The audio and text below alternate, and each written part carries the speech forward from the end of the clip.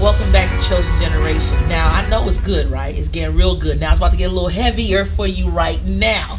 Now, Minister Vernel, Yeah. this is another statistic I got for you. Y'all ready for this? It says a study shows from the RAND Corporation that teenagers, that's you, you, are twice as likely to have sex or engage in sexual activity uh, because of the media. Many objects in media involve and that, that for the media are targeting you. You the target. Bullseye, got you. All right, Re, like for example, reality shows, TV dramas um, are portraying that only the cool kids are the ones having sex, and if you don't have sex, you're not cool. Something wrong with you. Um, you you you might you might just be a little funny, a little strange, a little peculiar. So basically, this is what the RAND Corporation is saying. They targeting you. You targeted every day. So you got a mark on you. So hmm. from seeing that, why is the media doing this, Minister Vernel?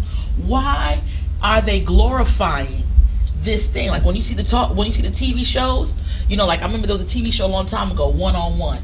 Remember that one? Uh-huh. Remember One on One and all these other TV shows that they got? They got a lot of shacking. Why is it glorified? Well, goes back to what I was saying. It's see the, these major companies and corporations. It's all about money. Okay. It's that's the only thing is about. And you know the same before sex sells. Yeah. Well, there it is. And I've realized that it's not only just that sex sells. I've realized that emotions sell. Wow. Because once again, when somebody is emotionally attached to something, they'll be willing to invest their money, invest their time, their their heart is invested in something. So they're going to continue to always look for that thing. Yeah. Um, and so what companies understand is if I can get these young people to emotionally, for example, uh, these reality shows where they show promiscuity and like you said it's, it's, it's, it's, it's exposed to be something that's hip or cool or the, the end thing to do there's so many young people who i've heard tell me that they don't want to have sex but I'm, i feel like i should or i feel pressured to because that's what everybody else is doing and they think everybody else is doing it because in tv everybody is doing it and that is that and it's not really the reality but that's the reality that's being painted by our by So it's like a matrix. It's like That's a what it matrix. It's like it's like a matrix system that has been basically constructed and created for young people For young right people. now to Um, fail. So basically, you're being targeted to fail. and it's at the expense of their them losing their their dignity their self-worth while companies are getting richer and richer off of them Wow. Oh my goodness. and the young people they tell me all the time like i don't want to have sex i don't i don't want to but everywhere i go i see it on the news i see it on the trains i see the billboards up Yeah. I believe one of my students told me about a, a billboard they saw and the, and the sign said are you a virgin we can help you Wow, but it's it's like it's it's everywhere. I remember there's a movie a long time ago. Y'all remember this? Remember the movie? It was about a gentleman that he was 40 years old and he was a virgin. 40 year old 40 year old virgin, Yeah. right? And he was basically being made fun of, Yeah. talked about, because he was still 40. He's a virgin. It's like something's wrong with you. Right. You know, like there's like, it, it's like a certain timetable that you have to have done it. If you didn't do it, if you didn't have sex, then, you know, something's wrong with you. and they make up all these these weird things like oh you, you can you know you about you backed up or something's wrong like you know they try to make all these scientific scientific things like oh you ain't, it ain't gonna work when you when you want to use it Yeah. you gotta test the waters make sure it's working But it's like, it's everywhere. But the thing Yeah. that, the thing that I don't understand about media, now y'all get this for me.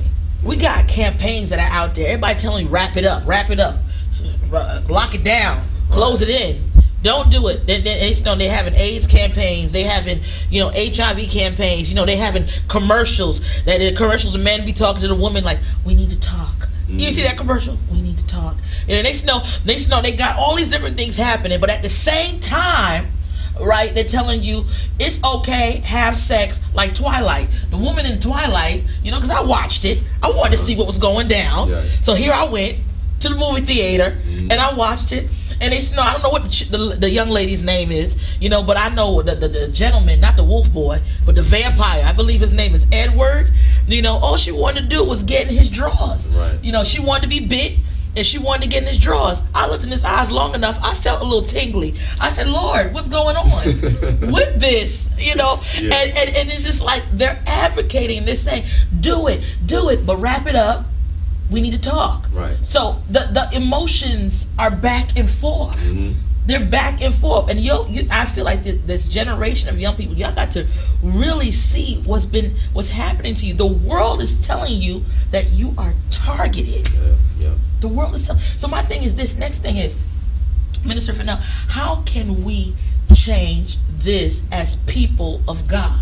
What can we do? I know right now, besides Hungry for God, you have a movement called Hungry for Change. Yes, yes. Tell us about this. Tell us what we can do. Tell us what you're doing. All right. Well, I'm glad you asked. Hungry for Change is basically my response to what what I've been noticing amongst the teens who've been telling me I don't want to have sex. I don't want to be involved in all the negative things that's out there, but I have no other outlet or nowhere else to, to express myself. Yeah. So when I started Hungry for Changes, it was basically a campaign where we got teen teenagers and, and young adults to express themselves about the issues that they want to speak out about and feel like no one else is listening. Okay. So what we did was over the summer mm-hmm. this year, we went around just asking random teenagers. This is in and out the church. Yeah. Majority out of the church, yeah. and had them express, "What do you think about reality TV? What's pretty much not 90% of them was all saying it's garbage we don't like it it's, it's not interesting but there's nothing else on so we watch it. So my goal was through this campaign was to capture the um the um, the voice and the feelings and the opinions of, of the majority of people that we ran into and provide a platform where everyone can um, can see it. So we videotaped it we've been um, we have a website out um, and we created a documentary. And wow. our goal is to get it to the people that will hear it. And the Lord has been good. He's actually already gave us favor with some uh, major networks, um, so that we can actually package this stuff in a way that it can, the, you know, the world can see it and hear what's really the real cries in the hearts of today's generation. Because there's there's not just a negative market. There's also a positive market, and that market also is waiting to be tapped into.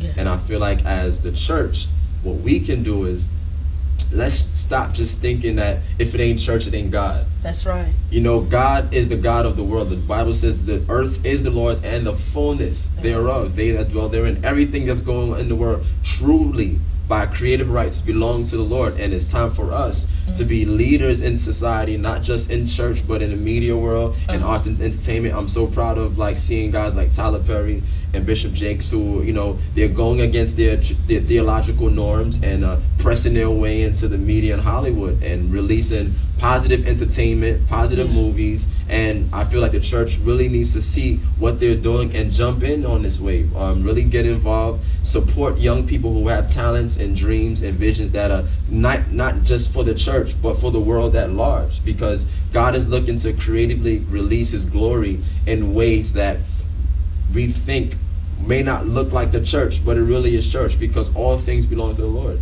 The Bible says that all things exist and consist in Him. That's right. You know? And people need to understand that we we make up the church. We are the body of Christ. And we need to support each other in churches. I'm really encouraging you. We need to put the effort in the stuff that we do. You know, yeah, the definitely. world spends billions of dollars, millions of dollars on their advertisement, Absolutely. on media. They put their best foot forward, right? And we as a church, we got to go past little flyers. I know they they nice, mm-hmm. but we got to be able to spend the money too. Yeah. You know, we got to listen. We got to do it. You know, I know you and I were talking in break. It talks about if, if, that scripture, God said, you know, if I be lifted up, then I will draw all men. Yeah, you know, yeah. but how are we lifting God up? you know, how are we lifting Him up so that He can do the drawing? Right. So we gotta, we gotta, we gotta put effort we got to put time, we got to put money, we got to get strategy, and we got to do it well. Do it with, uh, with an excellent spirit. Right. So, Minister Vernel, can you tell us, because I, cause I know God is using you to, to bring some change, tell the audience where they can go and visit your website. Well, you can uh, check us out on www.liveh number four c.com. Yes. liveh4c.com. And we have all the information on there. You can see our documentary, what we've done so far. And then just contact us. Let us know if you want to be involved. If you're a young person and you want to do get involved with something positive, please reach out to us and um, we'll get you right in. We're looking for actors as well as actresses for many sketches. Um, that we want to we want to do some entertaining. I, I've also realized with the teens, we got to have some entertainment involved in that. I mean, I feel like a lot of things that we do for youth, we're more informational, but they they want to be entertained. They want fun. They, I'm young. I want to have fun. Praying a lot is good. Prayer is good. Right. Sooner or later, you gotta get up off your knees uh huh. And have some fun. Have some fun, and and we need the joy of the Lord is our strength, right? Yeah. There's a book I mentioned to you that I really feel like if you're young, if you're a youth leader and you want to be involved in learning how you can reach your youth better, there's a book I stumbled upon called The Branding of MTV. Okay. Now, MTV, you might say, what that got to do with the church? Well, has a lot to do with it because their MTV is the leading global youth brand in the world. Um, they influence our youth way more than a lot of us do. And so, how are they so successful? This book will explain what the, I mean, the actual steps and the things, strategies they use to reach young people. Wow. And I feel like, um, you know, the Bible says the children of this world are wiser Yeah. in the church. So um, we can find out a lot about it. So it's called the branding of MTV. Will the internet kill the video star? Um, check it out Excellent. and And you'll see that information. mhm, You're gonna see that information. I'm telling you, I, I know the show was informative. right. I thank you so much for coming.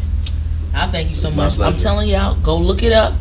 Look up that book, all right? And parents, I hope this opened up your eyes a little wi- wider and young people for you to know, hold up, get this target off my back. Yeah. All right. Don't so, fall for the sex trap. Please. please. All right. Please don't fall for it. Thank you so much, Minister Vernel, for Thanks coming. For I'm excited. I'm telling here. you, I thank God. Listen, until next time, I want you to know out there, listen, you different. I like I'm different. I like that I'm different. You like that you're different. I love it. Just know that you're chosen. God bless you. You took me and you